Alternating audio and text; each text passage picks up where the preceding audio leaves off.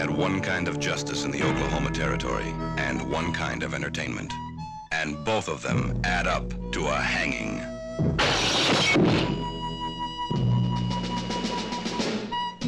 The hanging was the best show in town until they did two things wrong. They hung an innocent man, and they didn't finish the job. What's this all about? Hang him. Jed Cooper. They shot him. They even hanged him, but they couldn't kill him. What about the nine just men who hung me? Justice is my province, Marshal. Mine and mine alone. The legend spread of the man with the hanging scar who wore a badge and rode a vengeance trail after nine desperate men. Those nine men. If you find them, they're to be brought before me. Alive. You're under arrest.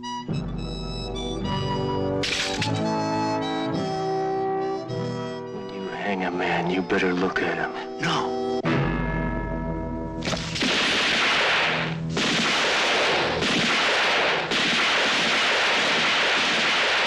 Rachel. She wanted revenge. A different kind. For a different reason. Who do you want to hang? We all have our ghosts, Marshal.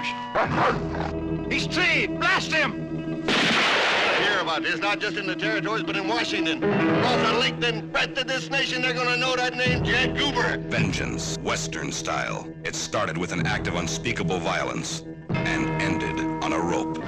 Clint Eastwood, Inger Stevens, Pat Hingle, and Ed Begley. Get your cold beer here. That's for all the kiddies. Pretzels, licorice sticks. Get your cold beer. Cold beer. Get your cold beer. It was the best show in town.